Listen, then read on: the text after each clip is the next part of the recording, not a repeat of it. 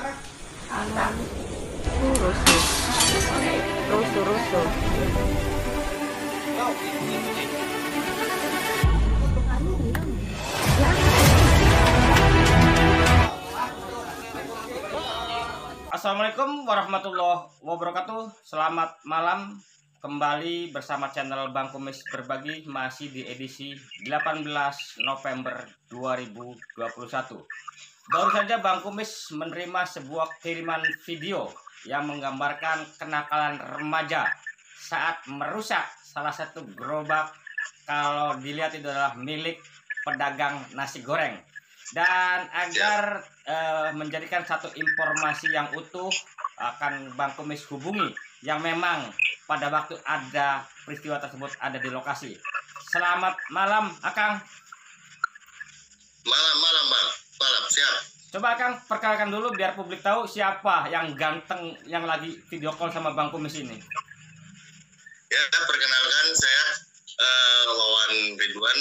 Eh, kebetulan saya Ketua DPC Perpam Cikesik. Bang, Selamat Eh. jumpa bersama channel Bang Kumis Berbagi. Bang langsung saja ke Siap, pertanyaan ya agar eh, dalam pemberitaan publik pun artinya nggak simpang siur. Apakah betul ya, Abang pada waktu peristiwa terjadi, Abang ada di lokasi. betul. Nah, Betul, Bang. yang bikin video sendiri itu siapa, Bang? Eh, kebetulan ada eh, tetangga yang di lokasi, Bang. Tapi Abang bisa ya menceritakan eh, karena memang tahu ada di lokasi. Coba, Bang, ceritakan sebenarnya gimana sih peristiwa itu sampai terjadi seperti itu dan siapa pelaku-pelakunya itu? Eh, kebetulan pada malam itu eh, pedagang itu masih buka ya. Abang Karena ulangi masih- jangan bilang malam itu malam apa, tanggal berapa gitu loh. Karena kalau malam itu kan Oh. malamnya banyak. Ya. Malam Kamis eh, kisaran pukul setengah empat dini hari eh, malam ya mal- tanggal 18 kalau nggak salah ya 17. 17 17 tanggal 17 Ya. ya. Udah masuk tanggal 17 eh, kisaran tanggal apa jam setengah empat Hmm? eh, dini hari. Eh, kebetulan saya lagi pesen nasgor eh, lagi nongkrong lah di situ. Tiba-tiba ada seorang pemuda. Eh, saya kira ya bersinar apa bisa diulangi dulu pak. Ya, jadi masalah gini, seorang pemuda, ya. nampaknya dalam video itu bukan seorang bang. Saya lihat ada beberapa pemuda. ya pemuda itu itu yang melerai Hmm, yang menjaga. Hmm. yang menjaga yang pelakunya cuma satu orang. Nah, pelakunya cuma satu orang itu ya yaitu menjaga supaya tidak meluas ke pengrusakannya itu eh, dilihat dari posisi itunya dia sedang mabuk. Hmm, gitu loh. Sedang mabuk sedang tidak kontrol lah. Dia datang itu eh, seluasannya dia itu minta bukan minta ya minjam uang. Uang tidak dikasih oleh si penjual itu. Penjual nah, nasi goreng atau apa itu bang? ya? Penjual nasi goreng atau penjual apa itu? Penjual nasi goreng. Ya itu kan biasa nongkrong di situ kan anaknya. Nah, untuk nongkrong di situ, itu lokasinya tepatnya di mana bang? Lokasinya? Di kampung Ranca Senang pak. Kampung Ranca Seneng Desa? Desa Ranca Senang kecamatan Cikesik. Cikesik. Nah, ya. kalau boleh tahu inisialnya siapa itu si pelaku tersebut kalau bang memang kenal? B. B. Nah, D D lah ya.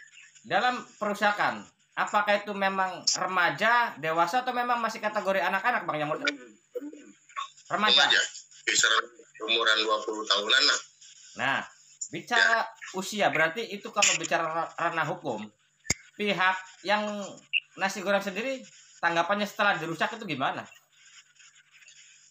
Ya tanggapannya begini. Dia sudah melaporkan setelah kejadian itu langsung melaporkan Oh. pagi-paginya itu Hmm, ke, ke Polsek Cikesik siap Nah setelah, setelah ditelusuri, dicari, itu anaknya sudah kabur. Itu sudah tidak ada di rumah.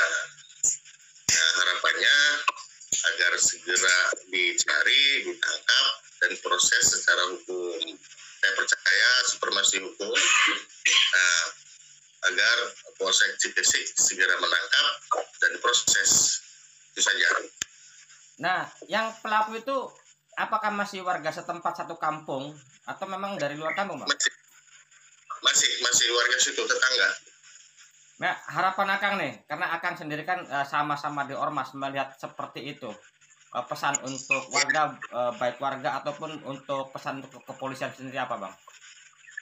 Ya, saya sangat miris dengan dengan kejadian itu karena itu sudah larut malam dini hari posisinya, tapi masih ada yang berkeliaran, mabuk-mabukan dan merusak eh, barang orang gitu, dan itu dapat merugikan.